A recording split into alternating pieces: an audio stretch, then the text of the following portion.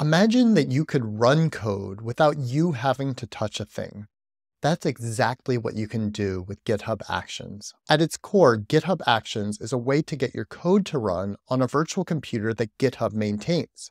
In order to do that, you have to write out a set of instructions for how it's all going to work. Let's imagine we have created a survey, which I have done here. Simple survey, three questions, what city, what state, and what country do you live in? I've written some code in a file called import-data. It goes out and it pulls that data in from Google Sheets, and then it saves the results as an RDS file.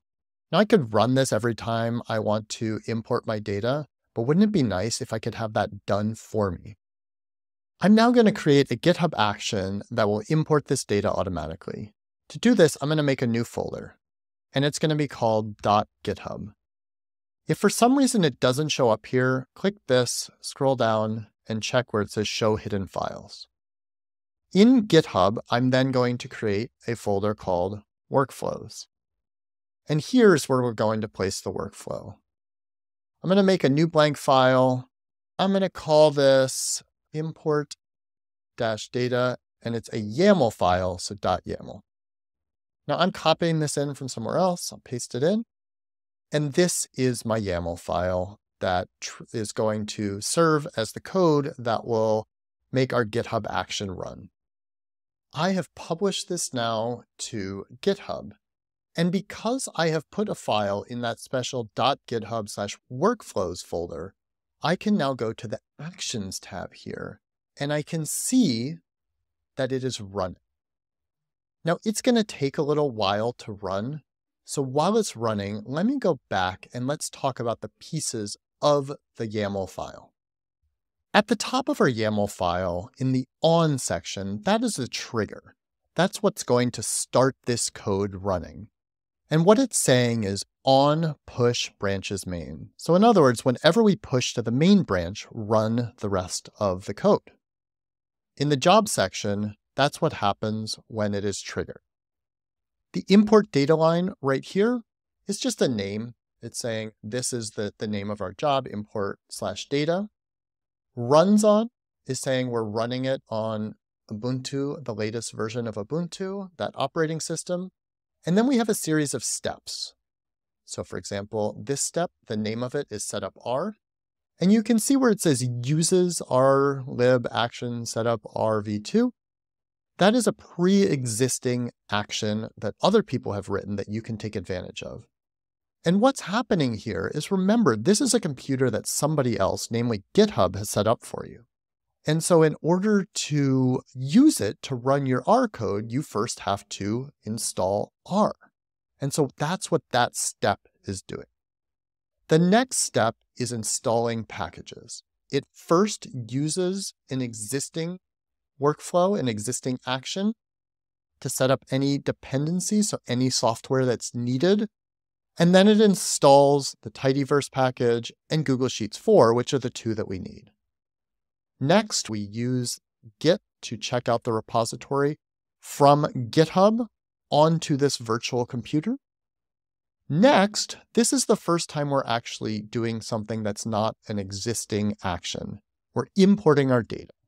And so we're saying, okay, when you get to this step called import data, run the R code in the file import dash data dot R. And so it will run this code.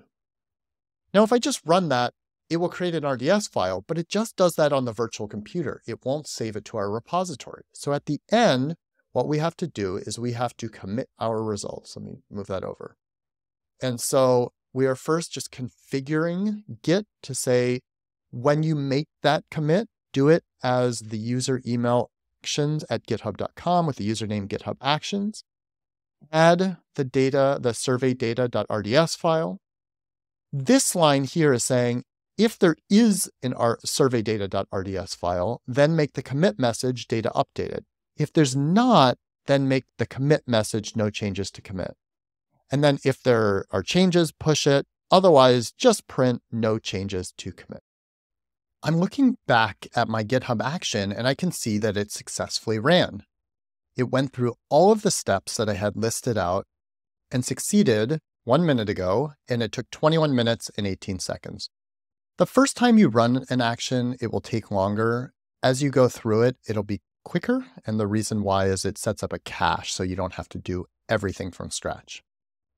If I go back to the repository itself and I look at my commits, I can see here the most recent commit is data updated.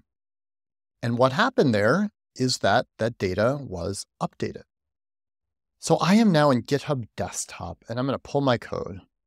So when I pull that, if I now go to the history, I can see that I got the last commit data updated with that new data, survey data.rds.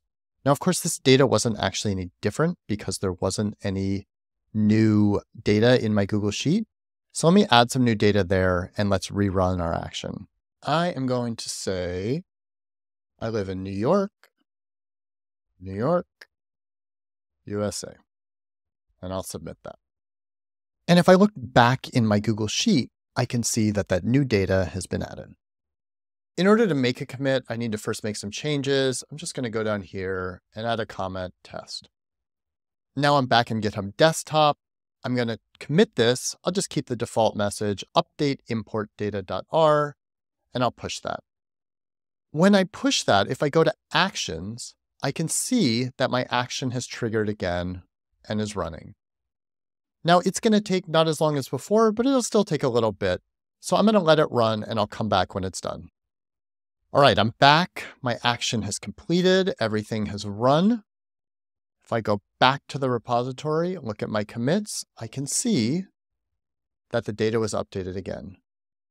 If I go into GitHub Desktop, I'll hit fetch, I'll pull, and I can now see my surveydata.rds file. If I run this, if I just click that, it'll actually put it into my environment. I'll open that up and I can see that I have all three results. So that's the basics of how GitHub Actions works. If you're interested in seeing how to run code on a schedule or how to generate a report using Quarto, check out the blog that I've written about this. It runs through all of those things and it'll help you get started with your own GitHub Actions.